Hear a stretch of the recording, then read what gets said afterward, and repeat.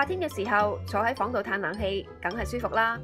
但有冇谂过古人冇冷气，亦都冇雪柜，到底系点样度过炎炎夏日嘅呢？原来古人嘅消暑方法比我哋想象中多噶。第一系用冰鉴，冰鉴指嘅系一种夹层容器，古人喺夹层入边放入咗冰块，再将食物放喺容器入边，咁样食物就可以保持新鲜啦。第二嘅方法系凉屋。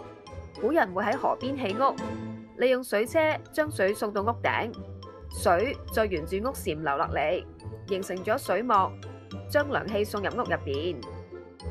第三系凉枕，依家仲有唔少人用紧。古人会用瓷器、玉石制成枕头，瞓喺上面清凉舒服。所以古代科技虽然唔够发达，但古人都有好多消暑计仔噶。